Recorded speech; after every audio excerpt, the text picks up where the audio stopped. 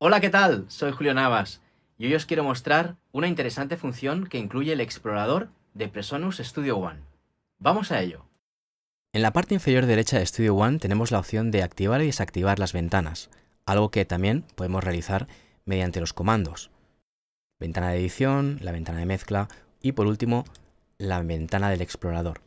En esta ventana podemos movernos entre instrumentos, efectos, loops, archivos, donde podemos tener también nuestras propias librerías, la nube, la tienda y el pool, que nos va a marcar cuáles son las pistas de audio que estamos utilizando dentro de este proyecto.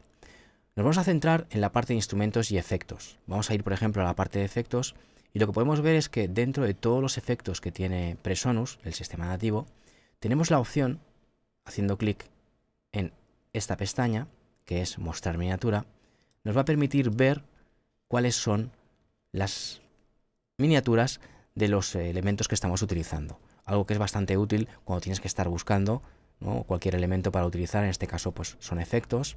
Algo que también eh, podemos ver en los instrumentos. Los instrumentos de Personus, los instrumentos nativos, por defecto también vienen con su miniatura asignada. Pero ¿qué sucede cuando estamos utilizando sistemas externos o plugins externos? En este caso, por ejemplo, vamos a ir a un efecto, es el caso de Shadow Hills. En este caso es la emulación que tenemos de, Plugin Alliance. Entonces, si yo voy a efectos, Plugin Alliance y busco mi Shadow Hills, tal y como vemos, no tiene asignado la miniatura o no tiene una miniatura preasignada. Y es muy sencillo realmente eh, asignársela. Es tan sencillo como venirse a la pestaña del plugin, hacer clic en la flechita y actualizar miniatura del plugin. Directamente la imagen queda predefinida con este efecto. Esto lo podéis utilizar para cualquier efecto, así como para cualquier instrumento externo.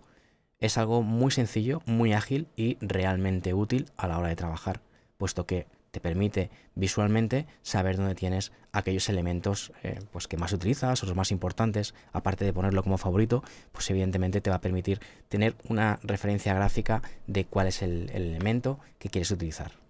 En el caso de que por cualquier motivo quisieras eliminar eh, la imagen, pues tan sencillo como botón derecho y eliminar miniatura. Y directamente la elimina. Espero que os haya sido de utilidad. La verdad es que yo encuentro que es algo muy sencillo y realmente útil a la hora de trabajar. Así que espero que lo utilices en tus próximas producciones.